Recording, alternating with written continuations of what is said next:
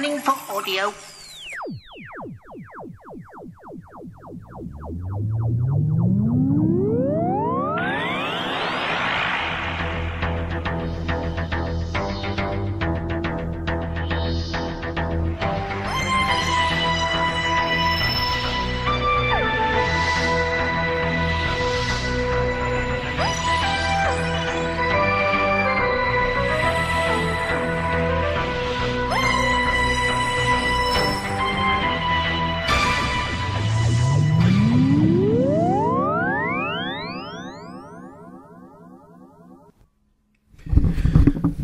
Welcome to a Tin Dog podcast, this time covering main range release from Big Finish, number 209, Aquitaine. But before I do so, I just need to attract everyone's attention to the fact that there's a Kickstarter campaign out there talking about, well, the Doctor Who pinball.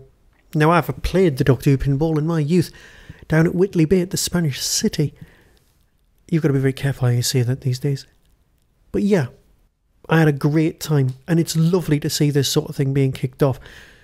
So if you do a quick search on any Google, you'll be able to find that this Kickstarter is out there, and you'll be able to find all the details you'll need. The artwork's superb, and you know what? A bit of my childhood, just sitting there. Oh, I can imagine.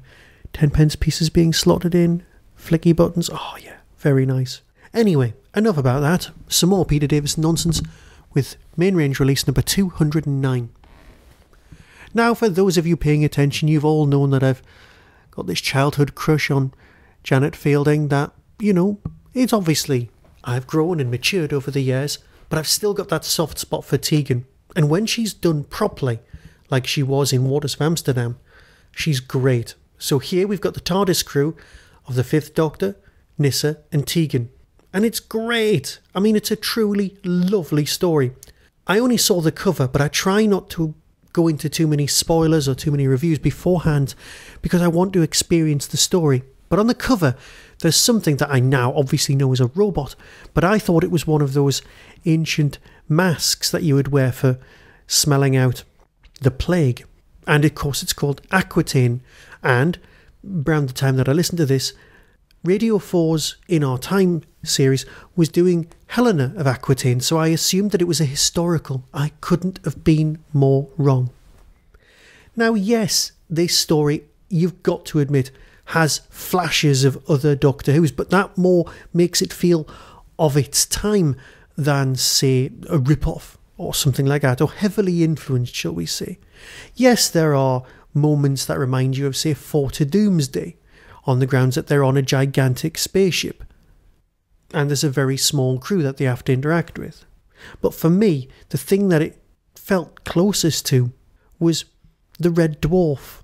Because the main character, Hargreaves, the butler robot who runs everything, couldn't be more Kryten like than, well, without breaching somebody's copyright. He's great. He's he's proper Kryten. He's not comedy Kryten, he's an actual Jeeves and Wooster style butler robot. So, yeah, this isn't the historical that I thought I was signing up for, and that made me smile straight from the beginning. As always with Big Finish, you've got superb performances all round. And yes, it does have a tiny bit of a feel of the early adventures Black Hole, which was out not two months ago where you've got the gravitational effects of a black hole affecting a giant spaceship. But that's that's kind of where the similarities end. And yeah, large gravity phenomenon are going to have certain effects, and they do make for a nice bit of television slash audio. I've been thinking lately, is Doctor Who now more of an audio medium for me than is TV? TV Doctor Who always puts me on edge, but audio Doctor Who, and let's face it, there's almost three times as much audio Doctor Who than there ever is on TV, and all of the Doctors, with the exception of the latest one, number nine, are all served better and have more stories on audio. I've rambled, I'll get back to the actual story in the actual review. Suffice to say that this particular story is very good. It's much better than you would think. Imagine the sort of spaceship you would see in Silent Running in orbit around a black hole lots of plants, a botanical section. Yes, tell you what, let me read you the synopsis. Today should be much like every other day for Hargreaves, the computer consciousness that controls daily life on board the spaceship Aquitaine, stationed on the outer fringes of a black hole. Water the plants, run the diagnostics, cook the captain's breakfast, then tidy the plates away, rotate the ship, clean the windows of the observation deck, and then at last the day's work is done. Hargreaves will dim the lights in the sleeping quarters, but no one will sleep aboard the Aquitaine tonight, because the Aquitaine's crew is missing. But today will be different. Today, a space time spaceship called the TARDIS will materialise in the botanical section, bringing the Doctor, Nyssa, and Tegan aboard the Aquitaine. Together, they will seek to discover the truth of what happened to Hargreaves' crew. If only the ghosts would let them. It's been written by Simon Barnard and Paul Morris. Now, I don't know if I'm a huge fan of the shared writing partnership style scripts. I'm not 100% certain on how that works. Does one person do something, give the script to the other, they tinker with it, they give it back, or do they work separately, or do they sit in the same office, or does one person type? This is something that I'd need to look into. But this feels like a uniform, one voice, one author piece. It's tremendously well thought out. And yes, the level of threat and the location of threat, and I don't want to give anything else away, is interesting. Because, like I said, I don't want to give anything away. But it's a thoroughly enjoyable story. And if you like this particular TARDIS team, perfectly acceptable. I would recommend this. Supporting cast, absolutely spot on. But it is Hargreaves, absolutely Hargreaves, who steals the show. Yes, there are flashes of him being a bit like Handels at one point, but you know what? That's not a bad thing, is it? More, so much more than the sum of its parts. This story rocks. And so I'll play the trailer and let you decide for yourself, and I'll be back very soon where we can discuss, hmm, more Doctor Who? Yeah. Be seeing you. Coming soon from Big Finish Productions. Whilst cleaning silverware, one must not be overzealous. Each time a knife, fork or spoon is polished, a little of the surface is removed. Doctor Who, Aquitaine. Doctor? Doctor, are you there?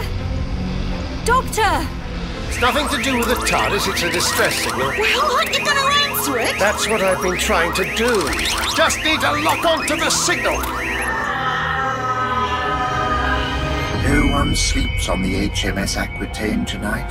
The lights of a thousand galaxies twinkle in the infinite darkness outside. It's worse this time, more violent. Tegan, hold on to something. I take back everything I ever said about your driving.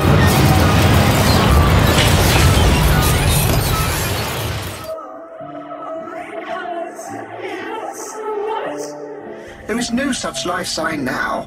Your friend is gone. If there's no one else here, then what was that?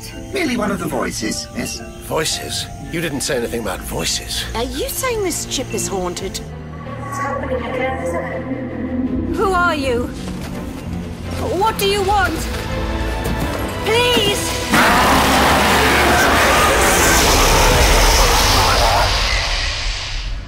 It is a sad state of affairs to be a gentleman's personal gentleman when one's gentleman or lady is missing. Big Finish. We love stories.